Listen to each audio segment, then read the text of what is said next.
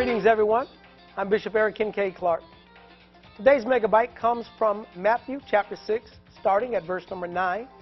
We traditionally call this passage the Lord's Prayer. It says, Pray after this pattern or after this manner Our Father, who art in heaven, hallowed be thy name. Thy kingdom come, thy will be done, in earth as it is in heaven. Give us this day our daily bread. Forgive us our trespasses as we forgive those who trespass against us. Lead us not into temptation, but deliver us from evil. Thine is the kingdom, the power, and the glory, forever. Amen.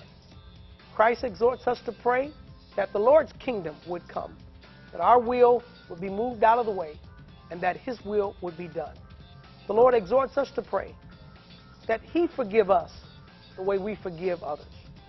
And finally, that we would be delivered from evil, every type of wickedness, every kind of weakness. The Lord wants us to be delivered from. And as He answers our prayer, we give Him thanks. Because thine is the kingdom, the power, and the glory. Amen.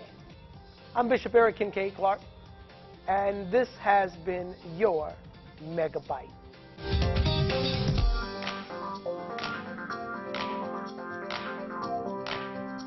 谢谢大家。